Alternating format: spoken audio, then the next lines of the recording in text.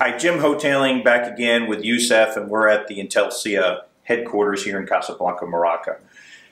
Youssef, there's a new context of business out there today. Uh, the world's getting faster and smaller. Uh, some will argue this is the fourth industrial revolution. Having all of those wrapped around as a scenario, I believe there's probably new leadership competencies that are required to lead in today's environment. Uh, if you agree with that, or you don't, that's fine mm-hmm. too, but if you agree, what do you think are some of the competencies for future leaders to be thinking about today? Well, I, am not sure that the, the, competencies do not apply also to the current uh, situation, but mm-hmm. uh, I think they will apply much more in, uh, in the, the, revolution you're talking about. I think that leaders of today needs to be very open, much more open than they, they were in the future. They need to be multicultural because the companies are almost uh, instantly playing on worldwide yeah. uh, boundaries.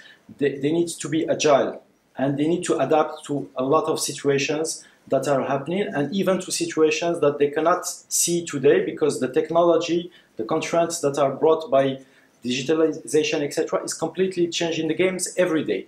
Right. Every day. So you have to have leaders who, who, who don't have any uh, firm beliefs about anything, they should be able to change uh, and challenge themselves every time and keep moving and inspiring and uh, leading the, the, way to uh, with, the, with their teams and with their uh, companies. But the main the main uh, message is to be open and to be adaptable to all the changes that are happening, which will be the norm for the next uh, years to come.